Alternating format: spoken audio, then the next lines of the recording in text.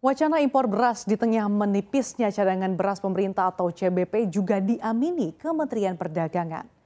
Ditemui pada acara Indonesia Digital Economy Conference 2022, Menteri Perdagangan Zulkifli Hasan menyebutkan Kementerian Perdagangan terus berusaha untuk mencukupi cadangan beras pemerintah.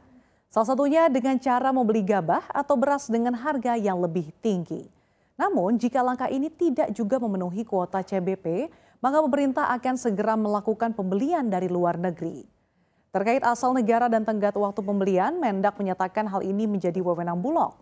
Beras menjadi perhatian serius pemerintah karena menjadi salah satu bahan pokok yang menyumbang angka inflasi tinggi dibandingkan barang konsumsi lainnya.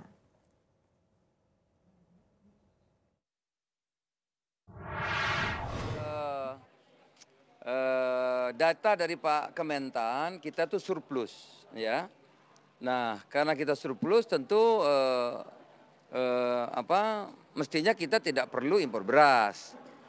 Nah, hanya sekarang masalahnya itu beras ini ada di tempat masing-masing, ada di pedagang, ada di ada di apa namanya rumah tangga gitu.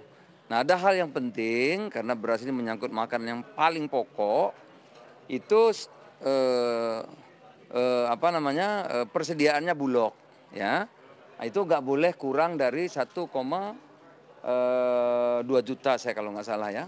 Nggak boleh kurang. Kalau kurang dari itu maka harus segera dipenuhi.